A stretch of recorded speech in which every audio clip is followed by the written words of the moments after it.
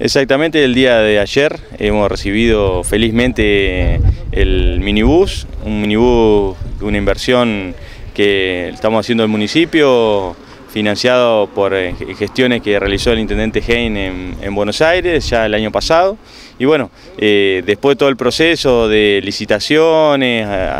otorgamiento del proveedor y demás, eh, felizmente lo recibimos. es un, minibús de 19 asientos más uno, que es del chofer, así que con todas las comodidades. Tiene algo muy importante que viene con un limitador de velocidad 100 km por hora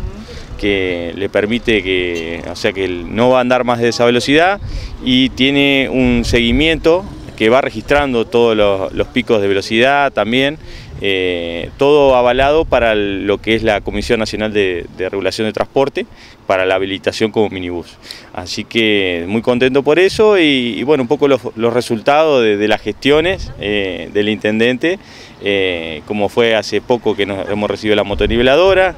que hoy, o justamente hoy están haciendo el primer mantenimiento de las 50 horas, así que estaban en Corralón el proveedor haciendo el mantenimiento y, bueno, eh, estamos trabajando en eso y por supuesto esperando la habilitación de la CNRT de este minibús para que empiece a circular ya por, la, por las calles. Bueno, buenísimo. Por otro lado, eh, eh, estuvimos eh, y venimos hablando de la iluminación, ayer te encontramos en otro lugar donde se sigue reponiendo y a la vez, bueno, colocando iluminación nueva, ¿no es cierto? ¿Se sigue con eso? Exactamente, el, el plan es de, tenemos 763 luminarias, ya estamos casi llegando a las 400 instaladas y lo que fue la semana pasada y esta, estamos en Avenida 25 de Mayo, desde el acceso, tendría a ser donde se llama la calle Pavón o donde está Fava, hacia el centro. Y también empezamos por la calle Neira y hicimos alguna, lo que es la calle Concordia y vamos avanzando en todos los lugares que, que podemos, que podemos colocarla las luminarias. Y nos queda la otra parte de la avenida Lem también. Tenemos varias, varias calles también para, para terminar ese trabajo, pero venimos con un buen ritmo y, también estamos aprovechando para la instalación de nuevas luminarias con las que vamos reemplazando eh, a través de atención al vecino, que hoy justamente estamos acá en el predio ferroviario, eh, todas las solicitudes de nuevas luminarias eh, también la puede solicitar a través del corralón o a través de atención al vecino y vamos a estar instalando. Hemos instalado algunas, bueno, hoy también estamos, justamente hoy estamos en en lo que es el, cementerio, atendiendo unas mejoras de luminaria allá también. Y bueno, ya que estamos, aprovechamos para iluminar el, frente con iluminación pública, lo que es la escuela agrotécnica. Y bueno, en la medida que vamos identificando nosotros mismos de la municipalidad necesidad de iluminación, o el vecino se acerca también a, proponernos eso, lo vamos, lo vamos ejecutando. Eh, por supuesto, estamos limitados con los tiempos respecto a los electricistas por esta situación, digamos, que estamos instalando las LED, pero vamos a ir llegando paulatinamente a atender todos los reclamos y eh, colocar esas nuevas luminarias.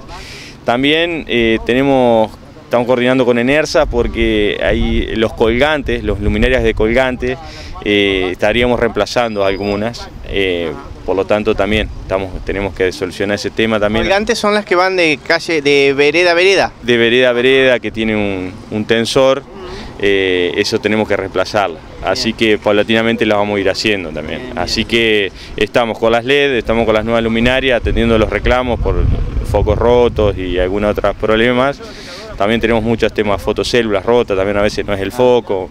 y bueno, reemplazando cables muy antiguos, eh, o, sea, un, mantenimiento integral de lo que es la iluminación pública. Bien, Claudio, te hago una consulta vos que estás acá y te vimos en, este lugar donde bueno, el vecino hace reclamo. ¿Qué es lo que más la gente hoy está reclamando o vos eh, absorbés o has visto o has escuchado? Porque bueno, sabemos que estuviste ayer y hoy un rato acá y seguramente tuviste contacto con el vecino, ¿no? Sí, sí, eh, acá estamos recibiendo, atención al vecino recibe reclamo de iluminación, vía pública, pero también la parte de obras sanitarias, pero también recibe reclamos del tema tránsito, reclamos del tema de cualquier eh, cuestión que el municipio tenga injerencia. Así que eh, muy variado y también no es solamente reclamos, sino también solicitudes y también ideas ideas, por ejemplo, no sé, eh, algún vecino que quiere hacer alguna mejora, le parece en el barrio eh, implementar alguna determinada cuestión o mejorar el espacio verde, de todo tipo. ¿no? Todo, muchos vecinos, por suerte, se vienen a acercar a proponernos también ideas y, por supuesto la vamos registrando a través del sistema, que eso es lo bueno, que se formalizan todos los reclamos y solicitudes y bueno, a la medida que, se, que vamos pudiendo lo vamos ejecutando.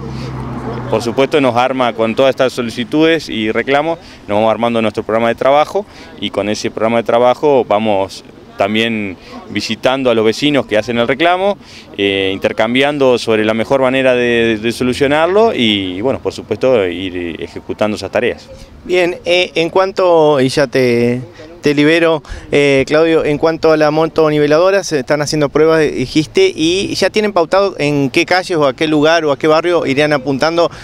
para probar la máquina, eh, ni bien puedan tenerla en funcionamiento.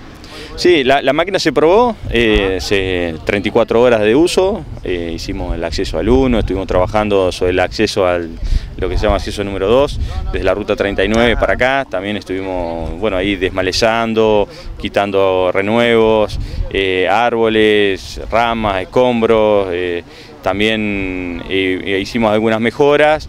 Queremos también mejorar el, camino que va desde el acceso al 2 para el lado de la planta de reciclado nuestra tenemos un proyecto ahí con vialidad para hacer un embrosado de ese camino, también que quede una alternativa para el tránsito pesado, para que pueda circular a través de esa, calle también. Y, bueno, eh, lo vamos a usar para todo lo que es eh, uso rural, para algunos caminos que, nos vamos a coordinar con el tema de vialidad para ese tema y también para el, obviamente para el uso normal de mantenimiento de las calles nuestras, sí, sí, sí. Eh, la verdad que anda muy bien, tiene una velocidad de trabajo estimado tres veces más rápida que la otra, eh, tanto por la potencia como la capacidad de frenado, la, o sea, es una máquina a cero kilómetros, obviamente ah,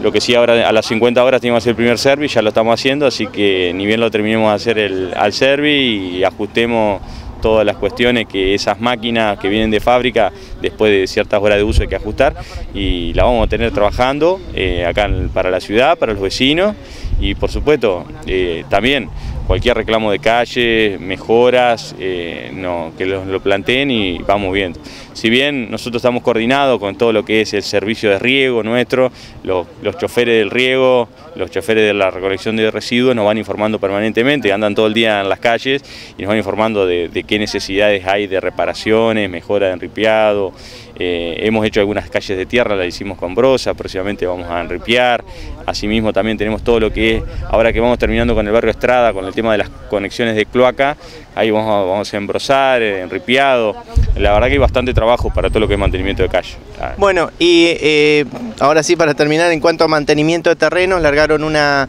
disposición nueva que comienza en estos días, nada más aquellos que han dejado el terreno abandonado, con pasto, con mugre, por decirlo de alguna manera, eh, hay una disposición nueva que empieza en estos días también, ¿no? Sí, sí, a partir del 19.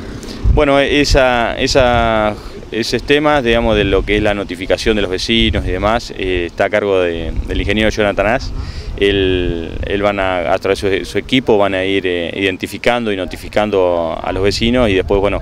nos, nos, dirá las órdenes de trabajo para que nosotros de la Secretaría de Obras y Servicios Públicos hagamos el corte de pasto de esos terrenos eh, que se encuentren irregulares respecto al buen mantenimiento, que ya hay una ordenanza vigente que reglamenta eso. Así que es un cúmulo de acciones que, bueno, con el mismo objetivo de que los vecinos sientan que, se está trabajando por la ciudad y que, vayan notando el cambio y por supuesto por el futuro también de la ciudad.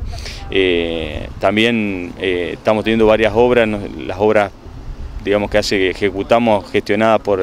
por la municipalidad, es bueno porque genera trabajo para acá, para la ciudad y también siempre les digo a los vecinos que cualquiera que quiera hacer una mejora, una mejora para la ciudad, ya sea en su casa, en, su barrio, eh, sirve porque vamos mejorando la ciudad y también vamos generando trabajo también para, para toda la, parte comercial de la ciudad y también para toda la parte de, la construcción, que sabemos que es muy importante. Así que la idea es que nos sumemos todos por Vaso y Vaso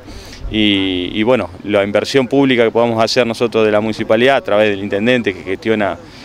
muy bien todas las, todas las obras y lo que los vecinos se sumen para seguir mejorando la ciudad eh, respecto a, sus obras, eh, sus casas. Eh, hay muchas inversiones que estamos viendo de, algunos locales comerciales, hay algunas obras en, que, se están hoy día de proyecto en el parque industrial. La idea es nosotros poder acompañar a todos esos vecinos que quieran seguir apostando acá a la, ciudad y nosotros de la municipalidad vamos a hacer todo lo posible para, para seguir colaborando eh, para el progreso de la ciudad.